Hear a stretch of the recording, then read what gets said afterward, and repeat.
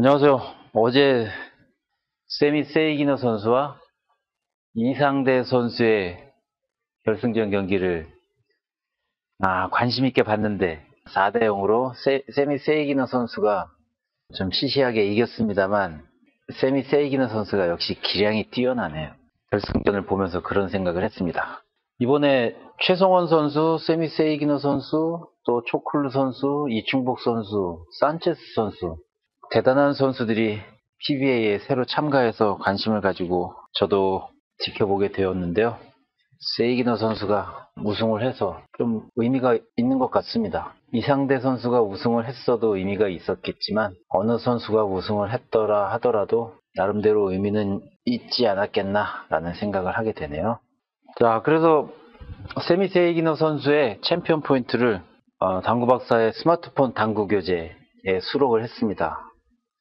프로샷 그리고 PBA 선택하시면 지금까지의 PBA 챔피언 포인트 다 수록이 되어 있는데요. 지난번에는 조재호 선수였는데 지난 3월에 3개월이 지난 어제 세미 세이기너 선수가 이 배치에서 뒤돌리기 짧게 득점해서 우승을 했습니다. 저도 한번 연습을 해 보겠습니다.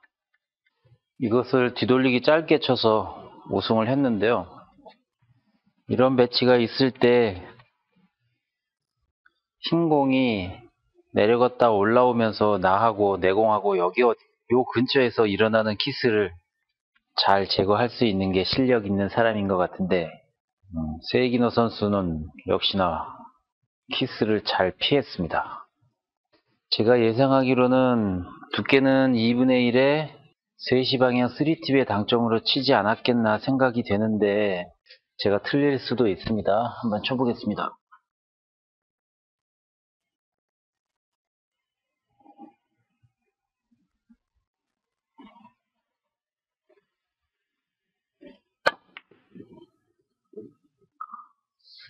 이렇게 치면 안 되는데 너무 터무니없이 얇았네요.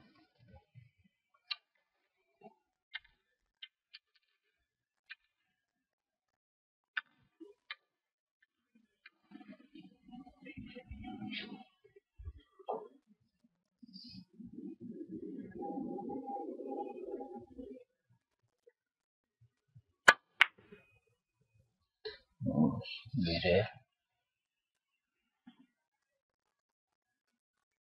어, PBA 테이블이 짧긴 짧게 나오나 보네. 똑같은 곳에 떨어졌는데도 짧네요. 아, 기네요, 여기서는.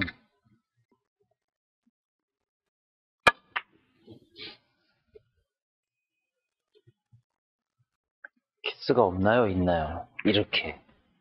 이런 키스가 있단 말이죠.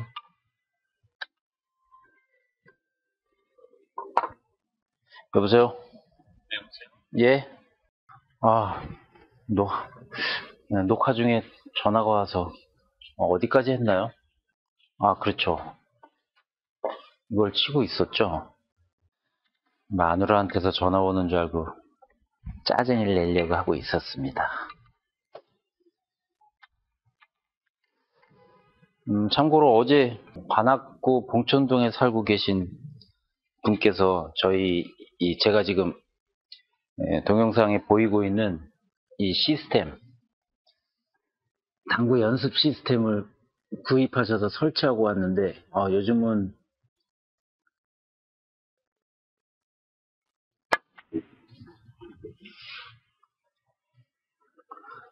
아 저는 자꾸 얇게 맞네요. 세이기노 선수는 좀 두껍게 쳐서 이쪽으로 흰 공을 보냈는데. 어, 왜 자꾸 얇게 맞는지 모르겠네. 역시. 사실 얇게 치는 것보다는 두툼하게 치는, 치는 게 좀 더 안정적일 것 같은데. 어서 오세요. 어제 세이기노 선수 우승한 배치를 지금 연습하고 있습니다. 아, 그래요? 예. 나도 그, 그거 보셨어요? 아, 보지는 못했는데, 경기력이 예? 경기력이 3대0이던데? 역시 응. 아, 대단해 관록이나 뭐 이런 면에서 압도적이야 압도적 그런 걸 대충 예상은 했었는데 그럴 것이라고는 예상을 했는데 정말 압도적이더라고요. 어, 이거 의외로 잘 안 맞네. 의외로 잘 안 맞아요. 와, 이런 거 진짜 어렵지. 않- 어려운 건 아닌데 요게 요렇게 갔다가 요게 나올 때 올라오면서 여기서 키스가 많이 나거든요. 그걸 예상하고 그걸 잘 빼려고 막 하다 보니까 뭐 공이 자꾸 엉뚱한 데로 가네.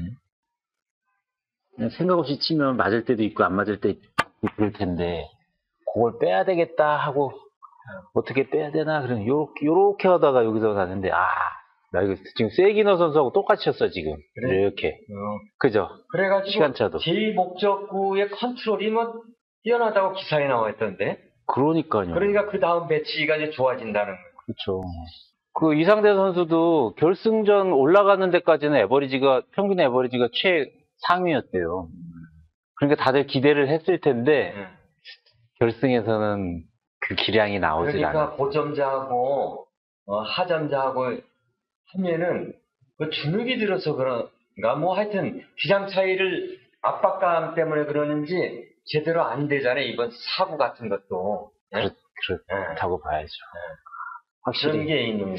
아 근데 생각을 해보세요. 어떤 스포츠에서 그 사람이 64년생이거든요. 글쎄 58살인가 그렇 더라고요. 50. 우리 나이로 환갑이죠. 예, 예. 지금 딱 환갑인데 어느 어느 스포츠에 환갑된 사람이 세계를 제패해. 그러니까요. 상금 1억 원에 이런 짜릿한 아니 그리고 게임을- 뭐 저기 첫 출범 외에는 처음이라면서요. 데뷔해가지고 우승까지 한 거는. 아 그래요? 예. 음. 데뷔하자마자. 첫 해는 아. 뭐 여러 사람이 다 했으니까. 그렇죠, 그렇죠. 아 그렇구나, 없고. 그렇구나. 예, 그렇죠.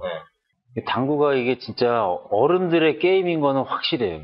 아니 어느 스포츠에 60 환갑된 사람이 이렇게 전성이라고 해야 되나? 관록을 과시할 수 있는 스포츠가 어디 있어요? 그 젊은 애가 못 당하잖아. 4대 네. 다른 스포츠는 뭐 30대면은 거의 뭐 은퇴를 슬슬 어. 생각하는 그렇게 되는데 이건 환갑이 돼서도 젊은 애를 데리고 노니 너무 멋있는 것그 같아. 희망이야. 그래서 그런지 거기서 나오는 관록을 못 당하는 것 같아. 그러니까 어려운 공이 있었을 때 그 사람 세이기너는 어, 예술구를 했었기 때문에 어, 이건 해결할 수 있는 능력이 가지수가 많아요. 그러니까 정, 정교하게 해결하는 방법도 할 수 있고 어. 예술구처럼 어, 과감하게 시도하는 것도 할 수 있고 방법이 많아. 그러니까 선택지가 많은데 이제 그게 안 되는 사람은 정교하게만으로 가는데 그 압박감을 받는 상황에서 정교한 컨트롤은 어렵지. 그런 면에서 기량이 많이 딸리는. 아, 아무튼 멋있었어. 볼수록 아 기량이 많이 차이가 나는구나라는 생각.